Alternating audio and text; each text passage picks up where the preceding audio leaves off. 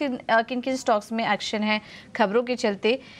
ये समझ लेते हैं रुक करते हैं हमारे अगले सेगमेंट का मार्केट एट थ्री।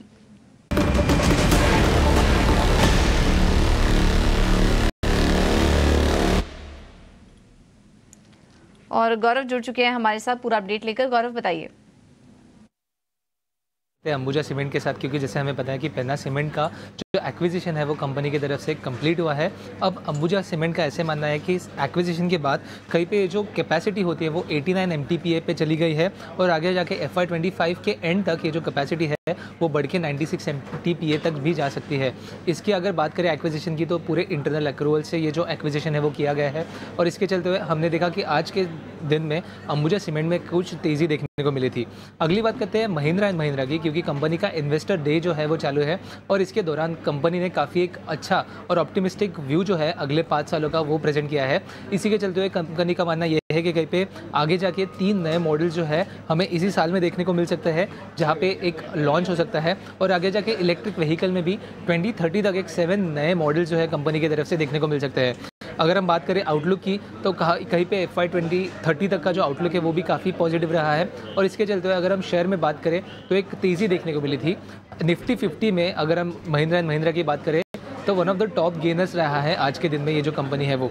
अगली बात करते हैं ई आई एच होटल्स की, क्योंकि कंपनी में, इस कंपनी में भी एक तेज़ी देखने को मिली थी, क्योंकि कंपनी ने अभी one is to one bonus पे जो शेयर है, वो बोनस स्प्लिट जो है, वो अनाउंस किया है। और इसी के चलते हुए इस शेयर में भी आज के दिन में तेज़ी देखने को मिली थी। केम प्लस सामना जो है वो और एक कंपनी है जहाँ पे तेज़ी तेज़ी देखने को मिली थी। और इसका मेन रीज़न ये है कि गवर्नमेंट ने जो है ऐसे हमें सूत्रों से समझा है कि गवर्नमेंट से रोकना चाहेंगे आपको? माफ़ कीजिएगा।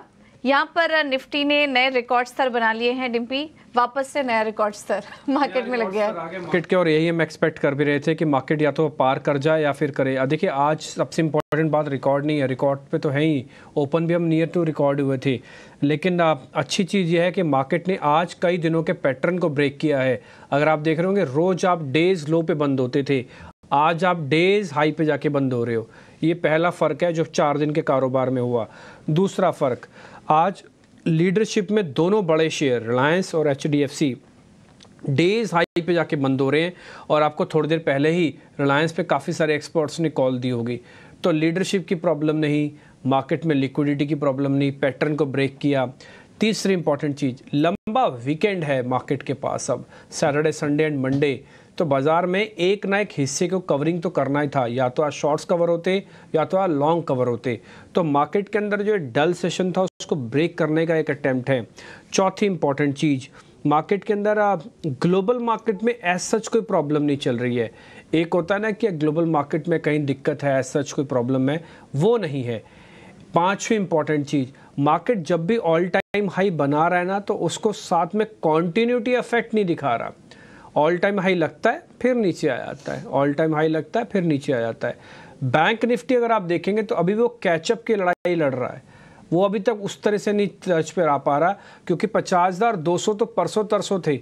आज जब फिर से ने निफ्टी ने ऑल टाइम हाई लगाया तो बैंक निफ्टी के पास पचास हज़ार दो सौ भी नहीं है, वो तो पचास हज़ार पे ट्रेड कर रहा है। तो ये डाइवर्जेंस जो है निफ्टी वर्सेस बैंक निफ्टी का, वो आपको साफ़ साफ़ दिख रहा होगा। एक और चीज़, आज मार्केट के अंदर एक बार आप जरा आईटी इंडेक्स दिखाएँगे। निफ्टी का आईटी इंडेक्स यहाँ तक लाने में तो आईटी इंडेक्स का बहुत बड़ा योगदान था बट आज सुबह से ही हमको आईटी स्टॉक्स के बहुत अच्छे से चलते हुए दिख रहे थे। आईटी इंडेक्स तो बकायदा लाल निशान में है। किसी तरह का कोई पार्टिसिपेशन आईटी से नहीं है। तो फिर से ऑल टाइम हाई लगा बिना आईटी के। तो इससे पहले भी आपने ऑल टाइम हाई बिना आईटी के लगाए थे। तो ये कुछ कुछ चीज़ें थी जो मैं मार्केट के अंदर जब देखता रहता हूँ तो ये सब चीज़ें दिखती हैं। एक और चीज़ फिर से आपने ऑल टाइम हाई टेस्ट कराया साढ़े बारह के विक्स पे। वॉलिडिटी इंडेक्स आपके चरम पर बिल्कुल लो कर चुके हो और आपने फिर से ऑल टाइम हाई टेस्ट किया है। ये ऑल टाइम हाई लग तो रहा है, लेकिन ऑल टाइम हाई के अंदर एक हिस्से का काम ज़रूर करना चाहिए सभी निवेशकों को। ट्रेडर स्विंगर वो तो हैं ही जो है इस सिस्टम में।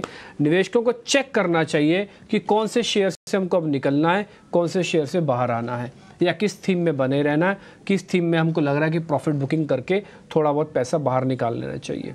क्योंकि नया लो और नया हाई ही ये ये टेस्ट करवाता है।